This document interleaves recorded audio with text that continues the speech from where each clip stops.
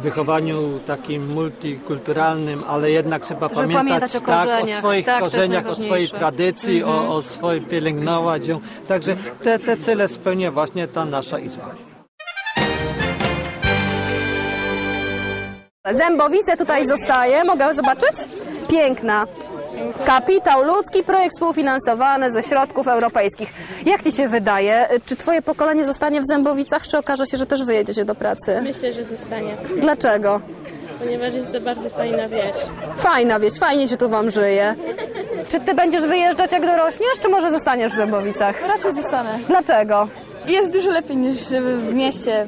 Dużo zieleni. No właśnie, tam fabryki, autostrady, a u Was chociaż jest czym pooddychać. Tak. No to wszystkie plusy. Za chwilę porozmawiamy o tych minusach o tych bolączkach i o tym, czego niestety jeszcze w Zębowicach się nie udało dokonać.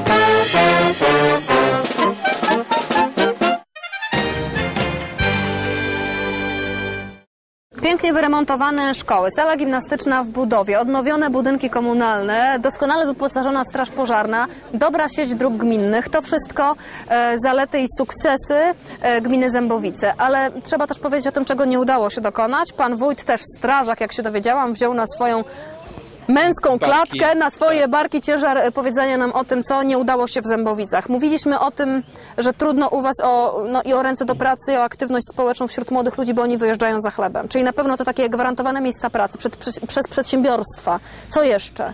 Przede wszystkim jeszcze mamy problemy z mieszkaniami komunalnymi, na które ciągle brakuje pieniążków. Niekiedy zakładamy, że pewne y, etapy inwestycyjne będą zrealizowane w danym roku, ale z uwagi na nieprzewidziane y, okoliczności należy y, przesuwać budżet. Tutaj Rada Gminy bardzo pięknie nam pomaga w tym, bo rozumieją te, te potrzeby nasze, jak również i potrzeby naszych mieszkańców. I można powiedzieć, że niby to jest pewna porażka, że plan, który zakładany jest na dany no- rok, nie jest y, realizowany w pełni, ale udaje się y, zrealizować go w następnym roku. Y, Myślę również tutaj o drogach. Mimo, że są pewne drogi wybudowane, to jest jeszcze kilka takich, które wymagają jakby konkretnego nakładu, czyli kolejnych modernizacji. I tutaj na ten cel nie ma programów pomocowych, które by były w stanie nam pomóc, więc musimy to robić z własnych środków. Tych środków mamy bardzo mało. Czyli I- i- powoli. y, bardzo wolno. I, I można by było powiedzieć, że jesteśmy w stanie w ciągu jednego roku wybudować y, 100 metrów drogi y, gminnej, a potrzeb jest y, 5 kilometrów. Więc y, można by podzielić to, że potrzeba by było około 50 lat, żeby sprostać temu zadaniu. A y, dodatkowo jeszcze jest y, modernizacja tych, które już istnieją. A proszę powiedzieć, mieszkańcy rozumieją to, jeśli Pan mówi w danym sołectwie, no przykro mi, drodzy mieszkańcy, w tym roku nie będziecie mieli swojej drogi. Jest zrozumienie i niekiedy y, brakuje, ale myślę, że większość jest y, bardzo wyrozumiała i w jakiś sposób y, wiedzą, że trzeba jeszcze rok czy dwa poczekać, a wtedy będzie ten sukces. W tak pięknej zielonej gminie nie sposób nie zapytać o ochronę środowiska, o kanalizację miejscowości przede wszystkim. Jak tutaj Wam się udaje dbać o środowisko naturalne? Staramy się jak tylko możemy, ale z wyliczeń poprzez pewne procedury czy, czy również projekty udało nam się y, ustalić, że nie możemy budować kanalizacji y, grawitacyjnej czy ciśnieniowej, bo mamy za mało LRM-ów na y, kilometr sieci. U nas ten wskaźnik wychodzi 55, a minimum 120 mieszkańców potrzeba, żeby dostać dofinansowanie, więc założyliśmy ochronę środowiska poprzez przydomowe oczyszczalnie ścieków. I? I mamy, mamy w tym roku dofinansowanie do 57 takich oczyszczalni. Wcześniej już 80 y, kilka gospodarstw y, wybudowało oczyszczalnie przydomowe. Y, Mamy też beczkowóz z ciągnikiem, który świadczy usługi poprzez Zakład Gospodarki Komunalnej i wywozi ścieki Czyli z nic szamp. na pola nie trafia, Nic nie trafia. Staramy się w miarę naszych możliwości chronić to nasze środowisko. Panie wójcie, proszę się przyznać. Jak pan zasypia wieczorem, co panu najbardziej leży na sercu, jeśli chodzi o gminę? Y, Jeżeli zasypiam, o ile jest to tak y, no, błyskawiczne, y, to co będziemy robić w, na, w najbliższych tygodniach, dniach, miesiącach. Ale przede wszystkim zawsze jest ta troska o to, żeby nie było wichur, żeby nie było strat. Jeżeli są różnego rodzaju nawałnice, to zawsze myślę, co będzie, gdy nastąpi pewna klęska, tak jak to było rok czy, czy dwa lata temu w miejscowości Sieroniowice czy, czy, czy w powiecie strzeleckim. Także to wtedy jest tragedia, bo trzeba podjąć gwałt, gwałtownie y, decyzję, w jaki sposób zabezpieczyć y, ludność, która ucierpiała I znaleźć na to pieniądze. i znaleźć na to pieniądze, niestety. Ale myślę, że, że tutaj właśnie poprzez y, odpowiednie zrozumienie Rady Gminy, jak również i y, pracowników jesteśmy w stanie temu sprostać. Oby takich y, sytuacji nie było. Oby.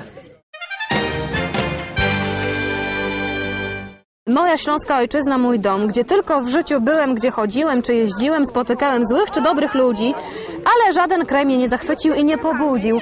Mamy Justynkę. Justynka przeczyta nam wiersze, które przed chwilą nam wręczono. Autor nieznany, anonimowy albo nie chce po prostu się przyznać. Te przepiękne wiersze mówiące o tym, że jak mieszkać i pracować i żyć, to tylko w Zębowicach.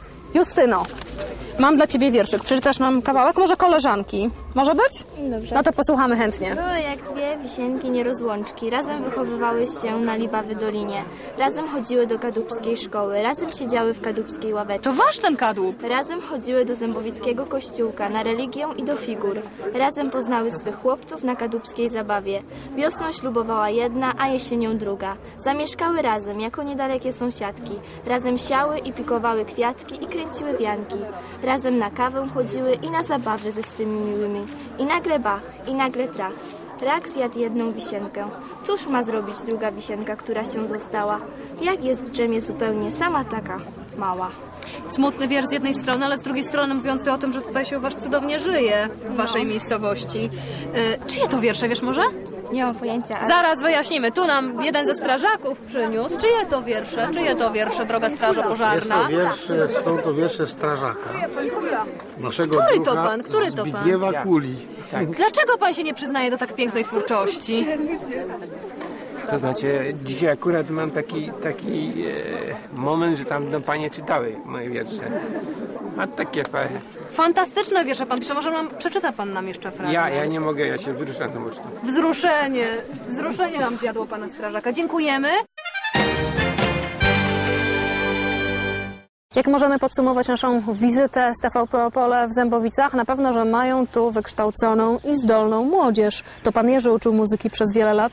Gdyby mógł pan podsumować swoją działalność, z czego jest pan najbardziej dumny? Z tego, że młodzież tak pięknie potrafi grać? To na pewno, to na pewno. Chociaż historia orkiestry y, ma już 100 lat, tu jest tradycja na tych terenach. No, y, tak krótko o, o powstaniu orkiestry. W 1997 roku zorganizowaliśmy młodzież. Było gdzieś około 45, to była młodzież szkolna.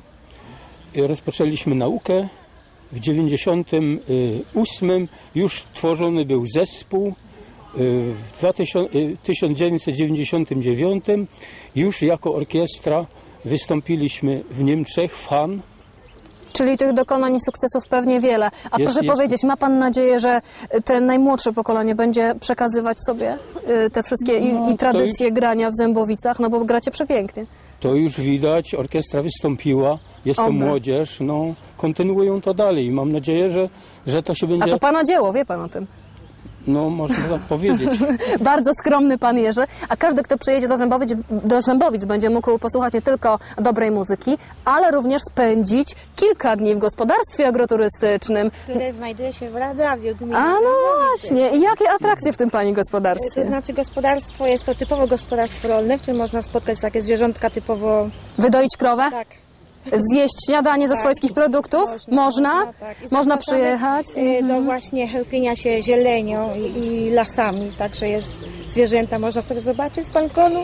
Jakie sobie tylko można. No, można przyjechać, posłuchać muzyki, panie wójcie, przenocować w gospodarstwie agroturystycznym. Tak. Co jeszcze? I ugościć u naprawdę wspaniałych mieszkańców naszej gminy. Jesteście gościnni, przekonaliśmy się dzisiaj o w tym. okresie letnim y, mamy y, sporo grzybów, y, owoców leśnych, także też sporo tych osób przyjeżdża, ale przede wszystkim, jeżeli ktoś chce odczuć to właściwe powietrze, ten, ten duch miłości, to zapraszamy właśnie do gminy Zemowice. My też również dołączamy się do tego zaproszenia, bo naprawdę gmina to gościnna, doskonale zorganizowana. Nikt nie będzie żałował z tych oczywiście, którzy tu przyjadą. Zapraszamy.